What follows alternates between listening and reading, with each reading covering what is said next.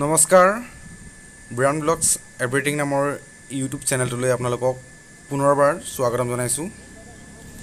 আজি মই আছোঁ ডিব্ৰুগড় ডিষ্ট্ৰিক্টৰ মাজমজিয়াতে বুলি ক'ব পাৰি যিটো আপোনালোকৰ আমোলাপতি চাৰিআলিৰ উত্তৰ দিশত যদি আপুনি ডেৰ কিলোমিটাৰমান সোমাই আহে তেতিয়া আপুনি এটা মুঠাউৰি পাব।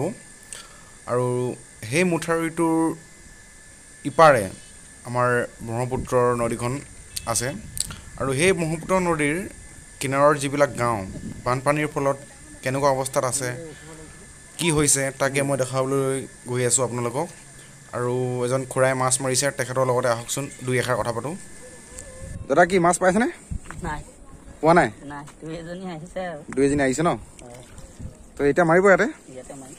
আচ্ছা বাকী এই পানী আপোনাৰ কিমান দিনৰ পৰা হৈ আছে? হ'ল চাগে দিন বৰষুণৰ পানী নহয় জানো? বৰষুণৰ পানী নদীৰ পানী আচ্ছা মানে এই মুঠাৰি এপাৰে যিবিলাক আছে সিহঁতৰ অলপ প্ৰব্লেম হৈছে। আৰু এইফালে যিবিলাক ঘৰবিলাক দেখিছোঁ সেইবিলাকতো বুৰে গৈছে ন আধা আধা তো সেইফালে এতিয়া যাব পৰা নাযায় ন অৱস্থা নাই যাব পৰা? যাব পৰা অৱস্থা হোৱা নাই শুকালো আৰু এসপ্তাহ দুসপ্তাহ লাগিবই। আচ্ছা। বোকা পানী মানুহৰ ভৰি হাতবোৰ নষ্ট হয়। আচ্ছা মানে আলিটো এপাৰখিনি বেছি অসুবিধা হৈছে। অঁ। বৰষুণৰ পানী আৰু আছে, ইয়াত অঁ আগত আছে ন? আগত আছে। সেইফালেতো প্ৰায় চৈধ্য দিন মানে হ'ব হ'ল। বৰষুণৰ পানী জমা হৈ হৈ লাষ্টত নৈ পানীটো বাঢ়ি গ'ল। অঁ বৰষুণৰ পানী আৰু নৈ পানীটো মানে দুটা মিলিয়ে পানীটো হৈ গ'ল ন? তেতিয়া পটকে নুশুকায় আৰু। আচ্ছা আচ্ছা। এইবিলাক চোৱাচোন কিমান বোকা হৈ আছে। অঁ এই তাৰ পানী সিজোৱাৰ পাছত। ইয়াৰ ওপৰলৈকে পানী হৈছে এইবিলাকতো নৈ- নৈতে উটি অহা কাঠ হপায়। হয় হয়। এইবিলাক ইয়াৰ স্থানীয় ৰাইজে মানে এইবিলাক ৰখাই থয় ন? পানী সোমাইছে এইবোৰ দেখিছে অঁ। এইবিলাক মানে আগতকে এতিয়া পানী অলপ শুকাইছে ন? অলপ কমিলে। আচ্ছা এইবিলাক মানে ভিতৰলৈকে গৈছিলে ন? সেইবিলাক বোকা দেখাই গৈছে। অঁ কিন্তু এবাৰ এইটো প্ৰথম আহিছে ন? আগতে হোৱা নাই? আগতে ইমান ডাঙৰ হোৱা নাই নদী নদী গুচি যায় ন? আগতেতো আপোনালোকৰ ইয়াত দুবাৰতো বানপানী আহে উম, কেইবাবাৰো আহে। অঁ? যোৱা বছৰ তিনিবাৰ। তো দেখিছে আপোনালোকে যোৱা বছৰ সাতবাৰ হৈছে? অঁ এবাৰ খালি প্ৰথম এইটো হৈছে ন? এইটো আচ্ছা ঠিক আছে বাৰু। এতিয়া আমি তেখেতে জাল মৰা অলপ চাওঁ। তেখেতে জাল মাৰিব। কি আহে কি নাহে সেইটো আৰু পিছত দেখা যাব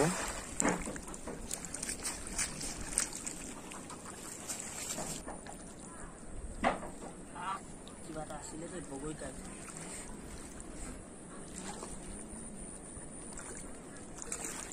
এইটোৱে দিগদাৰ চাইডত টানিলে কাঁইট গছ আহিলে পটকে হাতত লাগে। বগৰী ন? এইবিলাক লাগি থাকিলে জালখনো ভালকে নুফুলে ন পিছত? মানে শিঙৰ মাছৰ নিচিনা। আহি থাকক। ময়ো যাওঁ। লগ পাই ভাল লাগিল। ভাল লাগিল। মাছমৰীয়া খুৰাজনৰ লগত কথা পতাৰ পাছত মই পাছলৈ আহিবলৈ ল'লোঁ। তেখেতে কোৱাৰ দৰে মোহনাঘাটৰ যিটো ছাইড তো তাত অলপ বানপানীৰ পৰিমাত্ৰাটো অলপ বেছি বুলি ক'লে। তেখেতে কোৱাৰ ফলত মই পাছলৈ আহিলোঁ আৰু তেখেতে কোৱাৰ এই যিখন গাঁও এই গাঁওখনৰ গাঁওখন মানে ইয়াৰ পৰা আৰম্ভ হয় আৰু আপোনালোকে কেমেৰাত দেখি আছে। বৰ্তমান গাঁওখনৰ ফাৰ্ষ্ট যিটো পজিশ্যন তাৰ পৰাই এইদৰে পানীৰ জৰাজীৰ্ণ অৱস্থা আৰু তাৰে কিনাৰত এখন ধাবা আছিল আৰু ধাবাৰ এইবিলাক সৰু সৰু কেবিন এইবিলাকো পানীৰ তলতে বুৰ গৈছে বুলি ক'ব পাৰি। আগতেতো বহুত পানী আছিলে আৰু মই পাছত গৈ পাইছোঁ তথাপিও আপুনি দেখিছে আধা পানী বৰ্তমান ডুবি আছে। এই ঠিক এইদৰে আৰু আপোনালোকক দেখাই আছোঁ এইবিলাক গাঁৱৰ মাজৰ অৱস্থা। দেখিছে আপোনালোকে কেনেকুৱা এটা পৰিস্থিতিত মানুহ থাকিবলগীয়া হৈছে বানপানীৰ ফলত।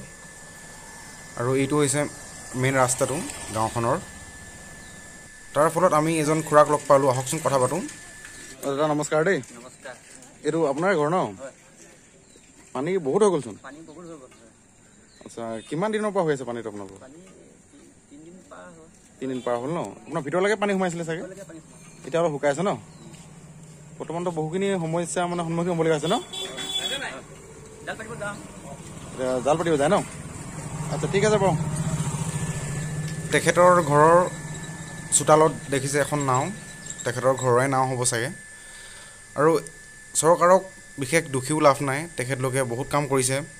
বৰ্তমানতো ক'ভিডৰ লগত যিটো পৰিস্থিতি হৈ আছে তাৰ লগত যুঁজ কৰি আছে। তাৰ ফলতো ইয়াৰ কনষ্ট্ৰাকশ্যনৰ যিবিলাক কাম ৰাস্তা বনোৱা মথাউৰি বনোৱা বৰ্তমান চলি আছে। আৰু নেক্সট বছৰ চাগে এই ৰাস্তাটো কমপ্লিট হ'ব বুলি আশা কৰিছোঁ। এইবিলাক শিল পেলাই থৈছে। আৰু ঠিক এইদৰে যিবিলাক কাম কৰা মানুহ তেওঁলোকো ব্যস্ত হৈ আছে ৰাস্তা বনোৱাৰ ফলত।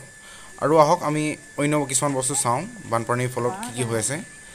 এয়া দেখিছে একেখন ঘৰতে দুখন নাও কিদৰে নাওকেইখন বান্ধি ৰাখিছে আৰু চোতাল বুলিবলৈ বৰ্তমানতো নাই। গোটেইখিনি পানীৰে পৰিপূৰ্ণ হৈ আছে। কেনেকুৱা এটা অৱস্থা হৈছে চাওক। আহকচোন আমি আৰু অকণমান আগবাঢ়োঁ। এইটো এটা ঘৰ দেখাইছোঁ। একেখন গাঁৱৰে ঘৰ। এজন যুৱকে এইদৰে লাঙি জাল পাতি আছে নিজৰ চোতালতে। ইয়াৰ পৰা দুই এটা যদি কিবা পাইছে বিকিছে ঠিক তেনেদৰে আৰু। আৰু এইবিলাক দেখিছে বাচন বৰ্তনবিলাক ঘৰৰ বাহিৰত। আৰু এইটো এটা সৰু কেম্প। আৰু কিদৰে আছে? তো এতিয়া আমি এজনী আইতাক লগ পাইছোঁ তেখেতক লগত দুআষাৰ কথা পাতিম। আইতা নমস্কাৰ দেই। এই এইটো ঘৰ আপোনাৰে নেকি? হয় নেকি? পানী ভিতৰলৈকে সোমাই গৈছিলে চাগে ন? এতিয়া আপোনালোকে ক'ত আছে? ইয়াতে? এইটোৱে মানে আপোনালোকে কেম্প হিচাপে বান্ধি আছে? অঁ, কেম এইটোৱে আৰু ইয়াত ল'ৰা ছোৱালী লৈ এইভাগে জীৱন কটাবলগীয়া হৈছে। আচ্ছা আচ্ছা প্ৰব্লেমটো বহুত হৈ আছে ন অসুবিধা আপোনালোকৰ? একে অসুবিধা আজি চাৰি পাঁচ দিন হ'লে একো চৰকাৰ ফালৰ পৰাও কোনো একো এটা চোৱাই নাই। বৰ্তমানলৈকে একো ৰিলিফ পোৱা নাই? একোৱে পোৱা নাই। মানে ৰিলিফ ফাণ্ড বুলি এইফালে একো অহাই নাই নহয় জানো? নাই, একোৱে নাই। ইয়াৰ ৰাইজে মানে স্থানীয় ৰাইজে কোনো একো পোৱা নাই? একোৱে পোৱা নাই এই লাইনটো তো আপোনালোকে কমপ্লেইন কৰিব লাগিছিলে আপোনালোকৰ ইয়াৰ মেম্বাৰ তাত সুধিছিলো এবাৰ নিদিওঁ বুলি ক'লেচোন কৈছিলে এবাৰ নিদিয়ে। এবাৰ নিদিয়ে বুলি ক'লে? আচ্ছা। নিদিয়ে এতিয়া কেনেকে নিদিয়ে? অঁ তেনেহ'লে মানে খুবেই দুখিত আপোনালোক আছে ন ইয়াৰ? আমি এতিয়া আজি সুধিছো আটাইতকৈ আমাৰ কি হয় বেছি দিগদাৰ। হৈছে এই লাইনটোত বেছি পানী দেখিছোঁ মই এইফালৰ পৰা চাই আহিছোঁ। এতিয়া কিমান দিন হ'ল আপোনালোকৰ ইয়াত? চাৰি পাঁচ দিন হ'ল চাগে? ছদিন। হ'ল? ভিতৰলৈকে যাবলৈ এতিয়া সদায় কাপোৰ তিতাই তিতাই যাওঁতে আহোঁতে লাগিছে। দিগদাৰ। যদিও বানপানীৰ পৰিৱেশ পানীৰে চালকটা পৰিৱেশ তথাপিও ইয়াত থকা কণ কণ শিশুসকলে বানপানীৰ লগত কিদৰে খেলিছে তেওঁলোকে কিদৰে ফূৰ্তি কৰিছে আপোনালোকে দেখিছে। এই ধৰণৰ সাগৰ ফেনৰ ওপৰত তেওঁলোক উঠিছে আৰু এই সাগৰ ফেনৰকে ধৰি লওক নাও বনাইছে ভোৰ টাইপ বনাইছে তাকে লৈ ধেমালি কৰিছে। এয়াই আৰু তেওঁলোকৰ ফূৰ্তি। সেই সময়তে পূব দিশত এখনি সৰু ৰামধেনু দেখিবলৈ পোৱা গ'ল। আৰু যাক মোৰ কেমেৰাত বন্দী কৰি ল'লোঁ আপোনালোকক দেখাওঁ বুলি। এটা ধুনীয়া পৰিৱেশ কাৰণ ৰামধেনু সকলোৰে ভাল পায়। সেইবাবে মই তাক এটা ভিডিঅ'ৰ ওপৰত প্ৰেৰণ কৰি আপোনালোকলৈ এই ভিডিঅ'টোৰ মাজতে দেখাই দিলোঁ।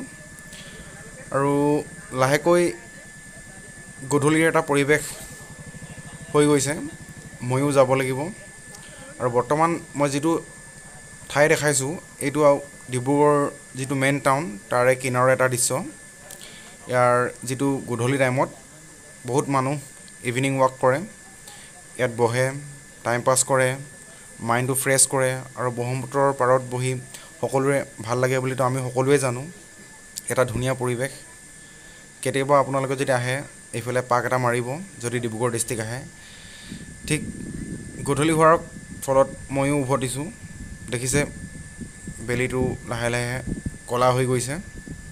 আন্ধাৰে চানি ধৰিছে। যদি ভিডিঅ'টো ভাল পালে প্লিজ লাইক এটা কৰিব চেনেলটোত ছাবস্ক্ৰাইব কৰি দিব। ধন্যবাদ।